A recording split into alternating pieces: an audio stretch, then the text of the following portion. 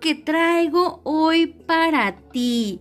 Unas donas con cubierta de chocolate que sé que te van a encantar, súper fáciles de hacer. Así que quédate a ver este video para ver cómo se hacen. Hola, hola, ¿cómo estás? Muy buenos días, tardes, noches, dependiendo a la hora que me estés viendo. Mi querida reposterita, mi guapo reposterito y a ti que sigues mis redes sociales. ¿Cómo están? Pues hoy traigo un proyecto nuevo para ti que espero que te guste, así que no olvides suscribirte en este canal, darle like, activar la campanita de notificaciones para que así te avise cada vez que subo un nuevo video y recuerda que eso ayuda, ayuda muchísimo al canal. Así que vamos a ver cómo se hace este proyecto y comenzamos.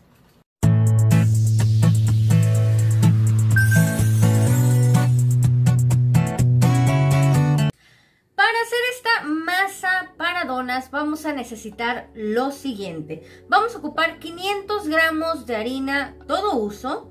Vamos a ocupar una cucharadita de sal, 200 mililitros de leche caliente, 15 gramos de levadura instantánea, vamos a ocupar 100 gramos de mantequilla, 120 gramos de azúcar regular dos huevos. Así que vamos a ver cómo se hace.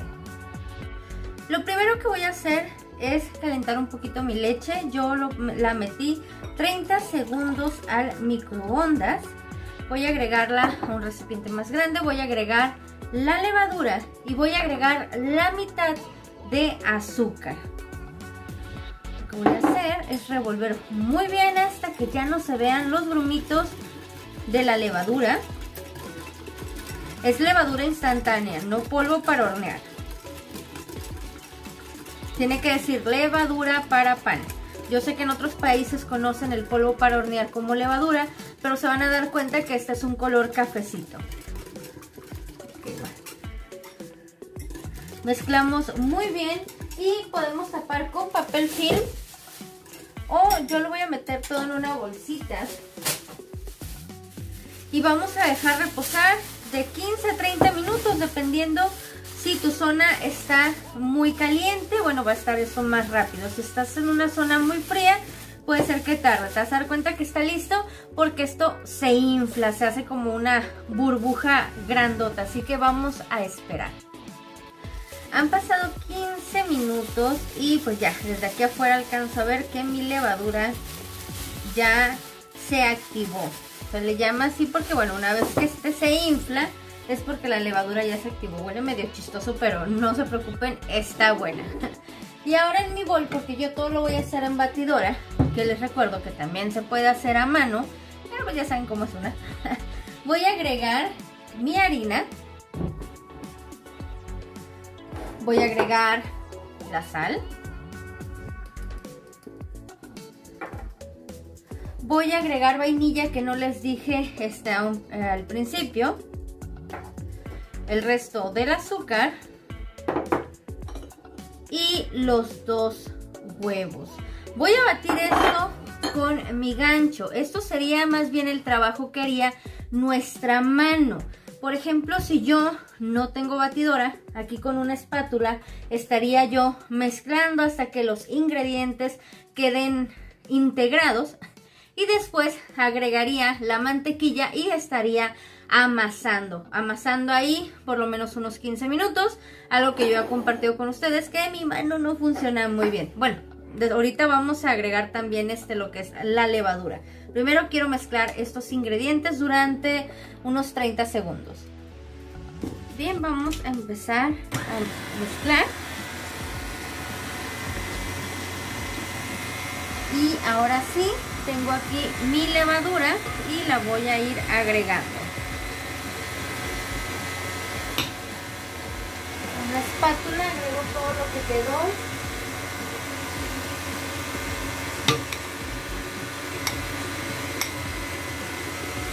En las orillas. Y voy a esperar que esta mezcla vaya agarrando todos los ingredientes.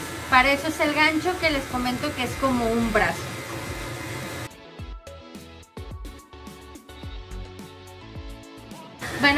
Mezcla se pone como muy pegajosa, como muy rara. Pero para eso tenemos ahorita aquí nuestra mantequilla. Si nuestra mantequilla de plano no está a temperatura ambiente o no está tan blandita, podemos meterla unos 30 segunditos al microondas, que es lo que yo voy a hacer. No para que se ablande, sino más bien para que sea más fácil de integrar a esta mezcla y que no queden pedazos con mantequilla y otros sin mantequilla.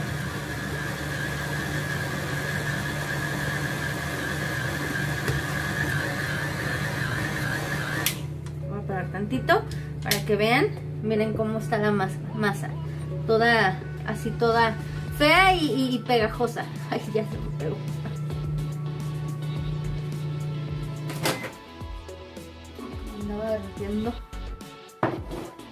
Y ahora sí, voy a agregar la mantequilla.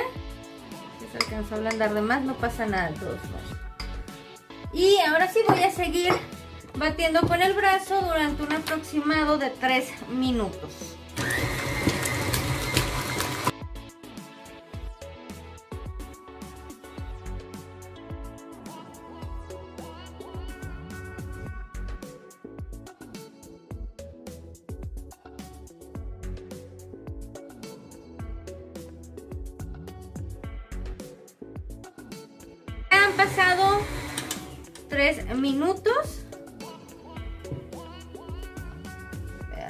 Queda así como... Tiene una, una caída. Ok, no todo es la batidora. Digo, sí tenemos que amasar, pero por lo menos es menos que si fuera todo a mano. Que lo que voy a hacer, voy a poner un poco de harina en mi mesa. Y voy a pasar toda esta mezcla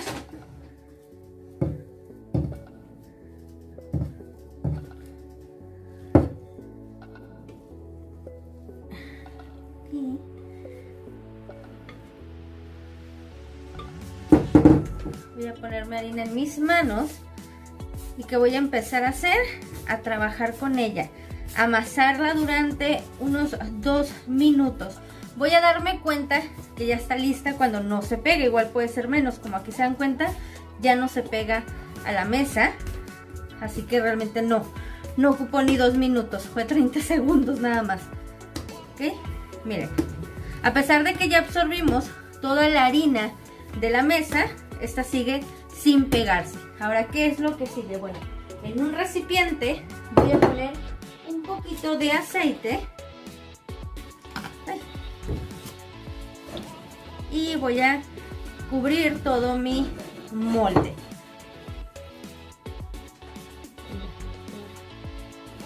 Voy a meter mi masa justamente aquí en medio.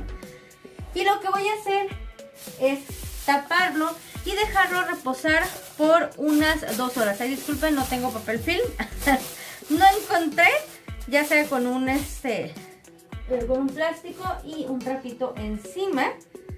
Y vamos a dejar reposar esto unas dos horas. Esto tiene que inflar, ahora sí, grandemente, o sea, una buena bola. Así que, pues esperemos. Pues ya pasaron dos horas y sí, efectivamente esto ya dobló su tamaño. Lo que voy a hacer es ponchar esta masa para poderla ya empezar a estirar. Todavía le falta un reposo más. Voy a pasar a mi mesa. De nueva cuenta voy a poner un poquito de harina. Solamente un poquitín.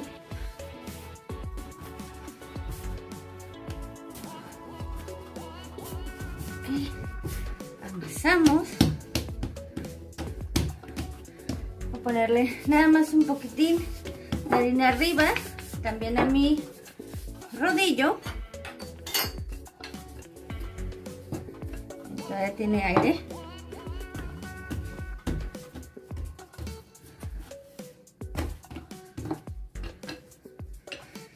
Vamos a empezar a estirar. El grosor es más o menos el de tu dedo meñique. poquito menos de un centímetro de alto.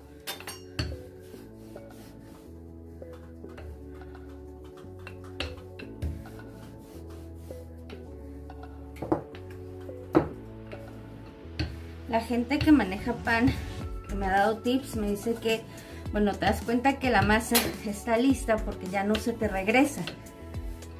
Esta no se está regresando y todavía le falta un segundo leudado, o sea que se esté espera, que se espere un poquito más de tiempo para que estén.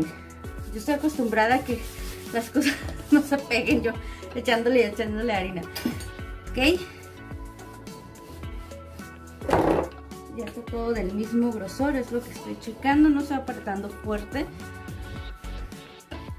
Y bien, tengo aquí mis cortadores, uno de 7 centímetros, y otro de un centímetro para este, la parte de en medio entonces corto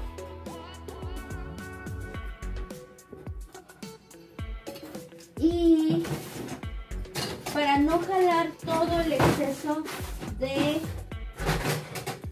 de masa sobrante yo voy, voy a ir cortando por pedacitos porque por alguna razón a mí la masa siempre se me viene siempre se me viene y me deforma mis cosas. O sea cuando quiero jalar como que todo el el extra ok si se te pega metes tu molde en harina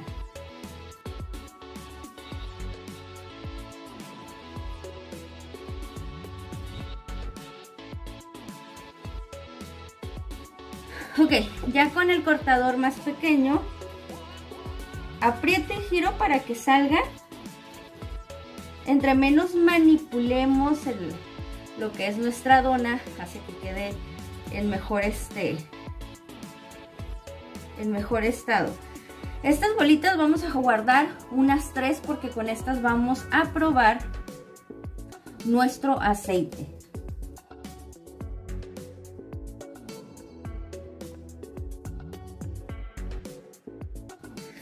Tengo aquí una charola, puedes usar papel encerado, yo porque ya las tengo con, perdón, con este papel, con silicón. Eso no es importante porque a final de cuentas van a ser, eh, no van a ser horneadas, van a ser en aceite. Así que voy a traer mi donita, la acomodamos bien para que quede otra vez redondita. con un poquito de separación porque estas van a volver a inflar. Ya tengo aquí una charola, pero todavía tengo mucha masa, así que voy a terminar de hacer donas y ahorita te digo cuántas me salieron. Porque esto vamos a tener que taparlo con plástico para esperar que se infle. Perdón, voy a tapar mi este, charola, lo voy a poner aquí plastiquito. Yo no, tengo papel film, así que le voy a, estoy usando esas bolsas. Y las voy a dejar, hay que taparlas bien, de ambos lados. Y las voy a dejar reposar otra vez una hora o hasta dos horas. Lo que quiero es que esto infle, que siga leudando. Entonces voy a tapar todas mis charolas y las voy a dejar en reposo. Es así como las tengo reposando, tapadas, entonces vamos a esperar hasta que doblen su tamaño, una hora o dos horas, dependiendo el calor que hay en tu ciudad. Ya puse mi aceite a calentar y bueno, aquí tengo estas bolitas, recuerden estas bolitas que guardamos, ahorita vamos a empezar a probarlas, lo acabo de prender así que todavía esto no está caliente. Y mis donas ya inflaron, ya duplicaron su tamaño, estuvieron hora y media reposando, así que pues ya vamos prácticamente a empezar a trabajar. Tengo aquí un plato con servilletas, bueno, pues para que se vayan, para que aquí absorban el aceite. Y bueno, voy a trabajar con una cuchara y un tenedorcito que por aquí tenía, ya se me perdió, pero ahorita lo busco. Ahorita que esto empieza a burbujear, te voy a mostrar cómo nos vamos a dar cuenta si nuestras donas ya están listas o no. O más bien, perdón, nuestro aceite está listo o no para meter nuestras donas. Vamos a hacer la prueba del aceite. Y yo tengo aquí una de las bolitas que aparté y la voy a dejar caer en la parte de en medio de mi ollita. Obviamente sale burbujita porque ya está caliente, pero lo que yo necesito es que esa bolita, en cuanto yo la arroje, flote. Eso me va a hacer... Ah, miren, ¿se dan cuenta? Eso significa que mi aceite ya está casi, casi en su punto. Vamos a hacer la prueba. No hay que aventar la bolita tan fuerte porque ya me di cuenta que se queda pegada. Así ya la moví. Y si se dan cuenta, ya. Ya flota. ¿Qué significa? que ya podemos empezar a poner nuestras donas. Si nosotros lo hacemos antes, lo que va a ocasionar es que absorba demasiado aceite. Así que voy a tomar mis donas con mucho cuidado.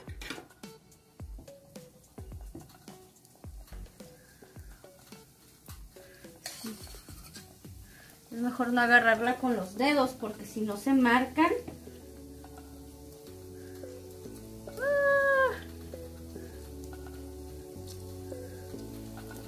Lo que yo hago es meterlas y voltearlas.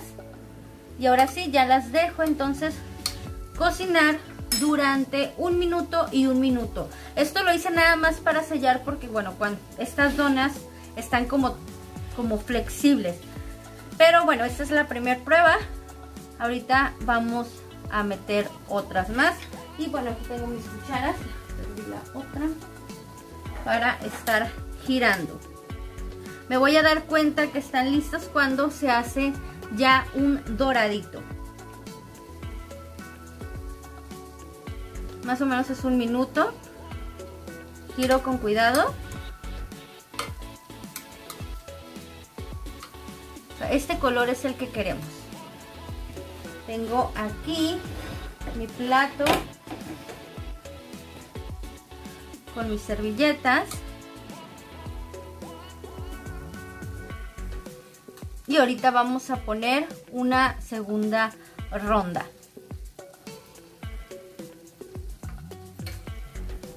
Quitamos aquí el exceso, lo ponemos acá en nuestras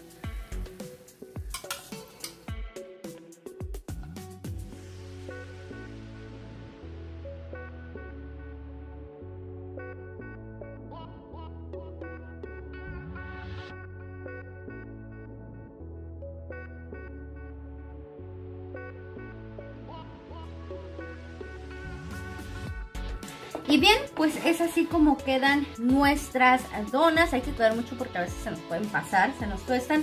Y bueno, ahorita lo que vamos a hacer es esperar a que enfríen para poder hacer nuestra cubierta, que en esta ocasión vamos a hacerla de chocolate blanco. Así que esperemos. Tiempo de decorar nuestras donas y bueno, yo en esta ocasión voy a decorarlos con chocolate blanco. Bueno, realmente ni siquiera es chocolate, es grasa vegetal sabor chocolate. Por eso este sí se puede pintar perfectamente con cualquier colorante en gel.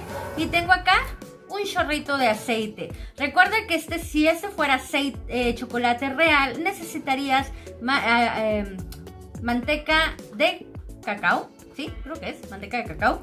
Para poder rebajar nuestro chocolate y también un colorante especial para chocolate. Pero en este caso este chocolate es falso, es de mentiritas. Así que, bien,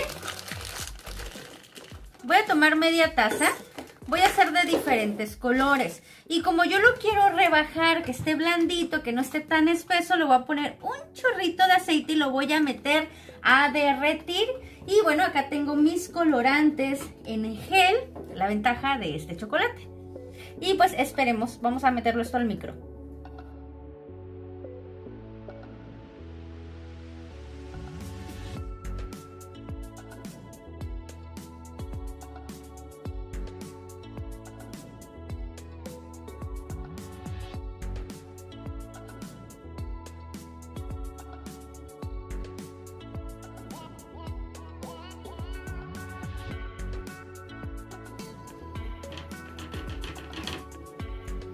Unos golpecitos porque quiero que quede planito.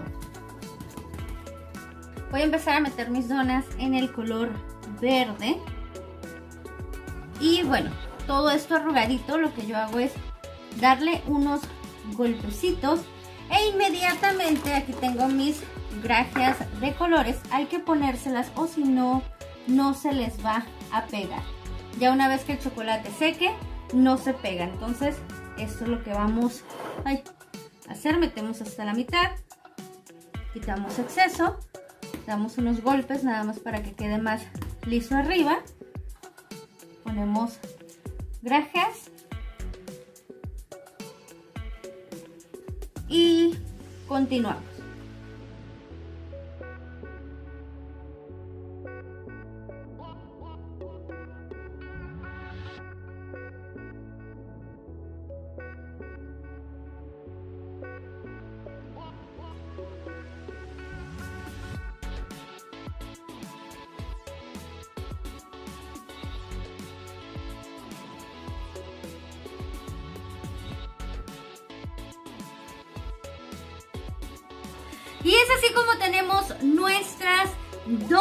Hay que esperar que enfríen para que, bueno, ya, miren, el chocolate ya está seco los morados, que fue con el que empecé. Y la verdad es que, vean nada más, está súper, súper blandito. Voy a pegar una mordida. Ay, que vean. Que no miento. Ahí está. A ver si se ve. La miga. Mmm son bien blanditas. No que se hacen duras. Bueno, estoy desbaratando el chocolate. Y, perdón que hable con, con la boca llena. Pero, pues así es como han quedado. Espero que esta receta te guste, la disfrutes y te sea funcional. Y que esperes las próximas recetas que voy a estar subiendo de donas gourmet que las encontré, pero quise empezar con lo básico. Y también con diferentes toppers, diferente sabor de glaseado. Ahorita empecé con uno de chocolate. Pero si dices, Ludis, eso está muy caro aquí, puedes hacer el que es azúcar glass con leche. Y te adelanto que ocuparías 500 gramos de azúcar glass y media taza de leche caliente. Haces ahí el menjurje, lo separas, lo pintas y listo, te quedan deliciosas, aunque las de chocolate se las llevan de ganar. Pero bueno, este, podemos tener opciones, así que yo soy Ludis y espero que te haya gustado este video. Bye bye.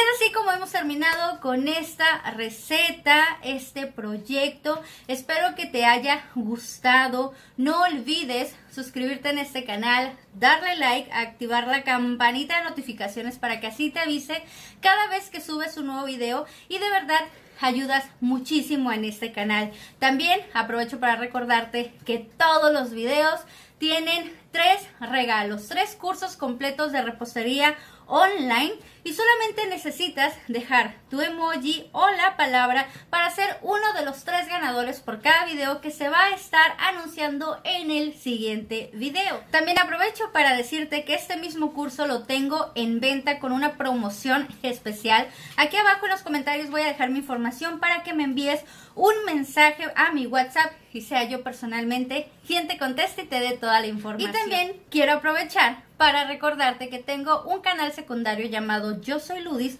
donde próximamente voy a estar subiendo muchos, muchos videos que sé que te van a encantar. Así que ve y suscríbete. Y bueno, eso es todo por el día de hoy. Nos vemos en un siguiente proyecto. Yo soy tu amiga Ludis y nos vemos pronto. Bye, bye.